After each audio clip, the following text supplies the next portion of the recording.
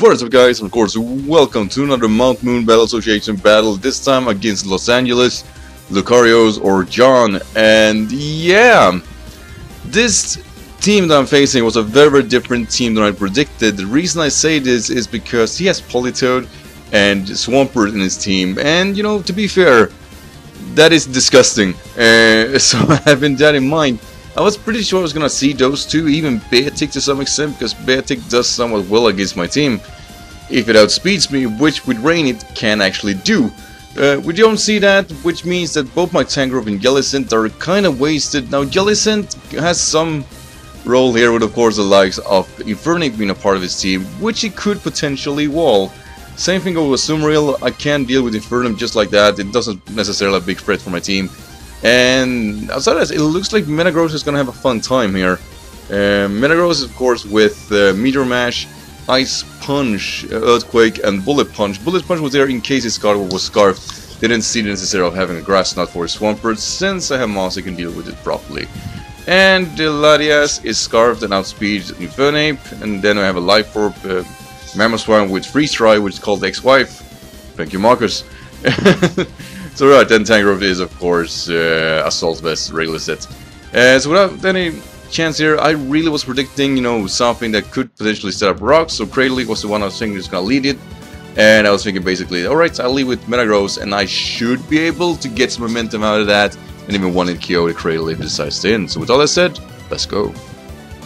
So yeah, from the get-go here, he's gonna lead off with Diddy Kong the Infernape, and I was thinking, ah oh, shit, damn it. Now, I can take a Flare Blitz if I so desire, but, you know, it's too early for me. Jellicent or even Azumarill were both safe switch-ins, so I decided to go to use the Palm the Azumarill, basically to take a potential U-turn if he goes to that, which he does, and that's alright. Uh, we're not assault vested, actually, like I said, there, I do believe we are banded for this specific game, and uh, he's gonna go to Gardevoir, and I was thinking, alright, Thunderbolt, Energy Ball do not want to KO us, and we can go for a knockoff in return. Knockoff, of course, the potential Scarf, which could be troublesome for the game. Now, he goes for Energy Ball, and it, it one-shots me. And I was like, oh shit, that that is, that, that motherfucker is Specs. That, damn it, that is not good. That means Infernape now is extremely dangerous for us.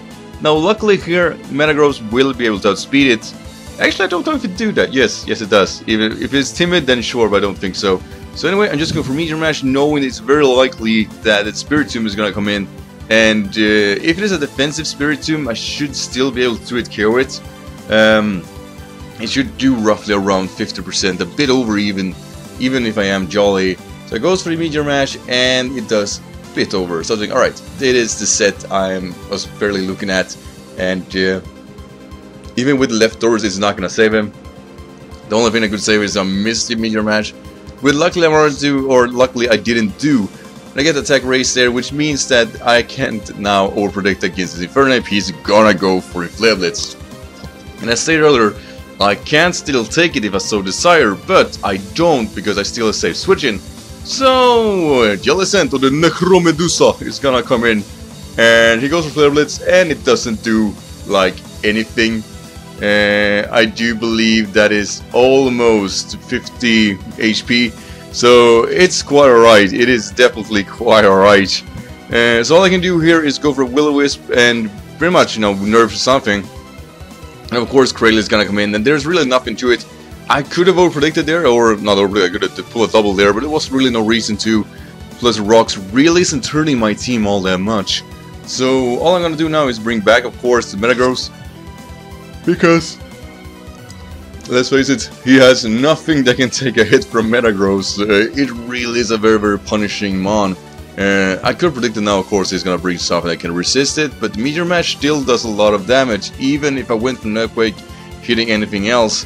Uh, I still kinda wanted to hope that he wanted to stay in and kinda sack it, so I went for Meteor Mash and not taking that risk as it goes for Jirachi. Now this is the shiny Jirachi, which could possibly have the Moonblast, maybe. I don't really care, uh, because I get a crit here, and Earthquake is now enough to KO it. Which it would have been anyway, actually, now I think about it. But then again, you know, he could have been Scarf with Arned. That would have been annoying, it wouldn't kill me, but it would have definitely been annoying. So yeah, we just get that out of the way. And now I'm gonna, since I don't have an attack raise, I know he's not gonna go for U-turn, and I'm just gonna go for Meteor Mash. Uh, after this U-turn, I can actually still take a Flare Blitz, which is kind of nice, um, since we actually know that he's Jolly Scarf and not uh, Adamant Scarf. Had it been Adamant Scarf, you had a possibility of killing me from this range. Uh, so I'm just going for Meteor Mash and bop the Cradily. So we got, at this point, you know, Metagross is having, you know, just a feast on these mons, basically. There is really nothing they can take it on. Uh, so it goes back to Diddy and all I was thinking here is, alright, fair enough. Um, I could go for the kill, sure, or I could just keep playing the game. I'm gonna decide to keep playing the game, bring in Necromedusa. Uh, and the Stealth Rock definitely pushes down a little bit as it goes for the Flare Now, I could have gone here, of course, for a Recover. That Actually, Recover would have been nice, but at the same time, um, he's gonna bring Gardevoir. I want the damage on the Gardevoir. I really want the damage on the Gardevoir. And knowing that it's specs and all, I know that every damage can count. So I'm just gonna go for a safe Shadow Ball. Because, let's face it, I'm not gonna be able to take a Specs, or I could take a Specs Energy Ball from full HP, but it's not a risk I want to take. So Shadow Ball does around 50% and that is great for being, you know, obviously unboosted. So now I'm gonna bring Tangrowth, just see what he locks himself into, and then switch into something safer. Because, eh, you know, everything will do a lot of damage. Moonblast does actually 3 thirds. Uh, so it goes for Psychic, that's alright, and I see the damage, I was like, oh shit, this is hurting, this is hurting so badly. But anyway, now I know it's logged into that, so I'm just gonna go to Saphira, which of course is a Scarf, the variant of Latios. I could have gone for, of course, Metagross, but at the same time, why would I? Like, I don't really want to risk any more damage on Metagross. I want him to be able to take a Flare Blitz. Um, it's right get a special defense drop, but it is where it is. I go for Shadow Ball, that's easily gonna kill it. Um, and also, now it's gonna bring, of course, Dragonite, and I have two options here. I either go for damage, break the Marvel scale, and um, hope that he doesn't Dragon Dance, basically, or hope that Dragon Dance. Uh, luckily, I should say I break the Marvel scale, right? So that's that's awesome. But it goes directly for Outrage, which have me believe that it's probably a banded set. Uh, it's either banded or, you know, obviously could be scarfed, and I'm just outspeeding. But yeah, uh, maybe broke that in vain since I am scarfed after all, like I said there. But at the same time, I can just bring the ex-wife, and since it's locked into Outrage, I can just go for an Ice Shard and there is really nothing to it. And um, yeah, at this point he only has Infernape left, and I have a few options how I want to play the game. Uh, but I decided to take a different route here, so he's gonna bring across the last month, which is the Infernape. And I'm just gonna fry Shard, basically just gonna push him down a little bit. Uh, and I'm pushing well beyond that mighty area where Bullet Punch could potentially kill him. Uh, I do get a crit here, which is somewhat unfortunate actually for him, as he goes for Flare Blitz. Now here's the thing, uh, due to my Jellicent being the range of HP it is, I actually have, um, I do believe that was a roll about just above 10% to actually be killed by a Flare Blitz uh, after rocks. I was thinking, you know, that's a risk I can take, so I'm just gonna try to recover stall him because the max damage output is 68 from the Flare Blitz. Um, so, um, you know, that happened. Uh, he actually get, you know, definitely a maximum roll here and does KO the Jellicent which is okay, but at the same time, you know, that kind of ruined my plan, which was to recover, stall him to death. So I'm just gonna bring Tangrowth here and just wrap up the game. I could have gone to Metagross and just go for a Bullet Punch, wrap it up, but really, really, really wanted to recall kill him. So that is exactly what we're going for. So Tangrowth, good job, buddy. And uh, the is gonna fall, and we do win this game 1-0 against, of course, Los Angeles, Lucario, or John. And this was a very, very cool game because, like I said, there this was not the team I was prepping for, so I'm genuinely impressed the way he played this game because it definitely pushed me in the corner, even though I won eventually, and I mean eventually. So alright, the, the afterthoughts, of course. Um, yeah, you know, like I said in the beginning, I really didn't see this, this specific team coming. Uh, not seeing Swampert or Politoed had me thrown off a bit because I have Mon specifically built for them. Uh, and of course, you know, Specs Gardevoir hurting my Azumarill so hard in beginning. Really nasty. Like, I really, really... I should have just switched in Tangrowth lane. It's safe there. I didn't do that, and I think that really, really knocked me back a lot. Uh, but aside of that, I think John plays a very, very good game. Now, I am in control, of course, mid-game. The early game was definitely his. And while it is a 1-0, it's a very, very controlled 1-0 because I could have just gone for Bullet Punch with Metagross and that would have wrapped up the game, but like I said, I really want to recover stalling with Jellicent.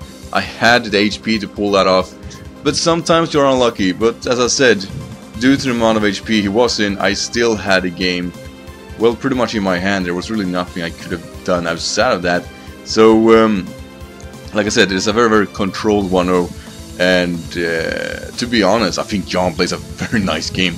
Um, I, I can't really stress it enough. He plays smart, he forces me down.